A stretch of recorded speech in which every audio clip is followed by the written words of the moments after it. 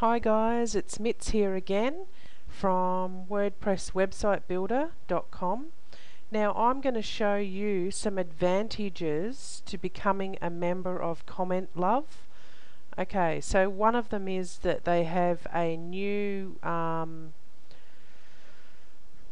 feature to their plugin. So not only does it leave your last um, post like that, see Mitz's recent post, um, you can also go over the heart, just hover over the heart here and more information comes up. So what it's got is that this link has been clicked one time and it's appeared on these websites, okay? And then here's some more of my posts. Now, this only happens if you are a member of CommentLuv. So let's go down and see if this guy's a member. No, he hasn't actually got any thing. So see this person, she's a member. We'll go down. This person's not a member, so you don't get any information about them. Okay, so you can see the advantages of becoming a member. Okay, now the other thing is that it says how many times this link has been clicked. Now I've just been looking on my blog here and I went through and checked to see where these people have been commenting and how many clicks they're getting. So just say for instance I looked at this one here. Now she's got six clicks on this link. Okay, I have to stay on top of this. And these are the blogs that she actually commented on. So I'm thinking, well, these must be okay, these blogs. So it's blogengage.com, CommentLuv, and smart bloggers.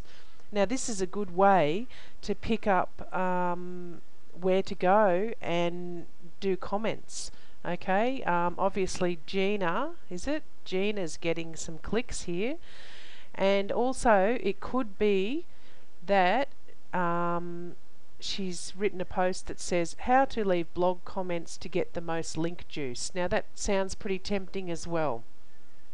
Alright, so that's her latest post. So that's just like recently.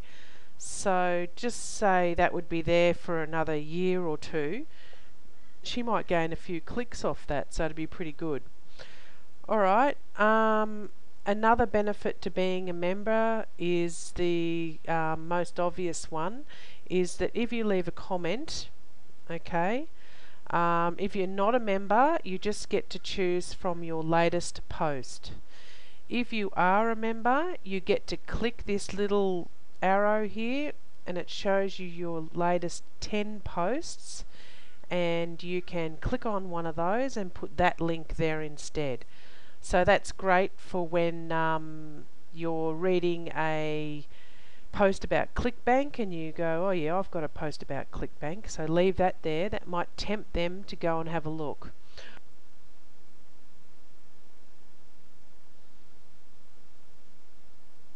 Okay, so if you're not a member of CommentLuv, um, it's free.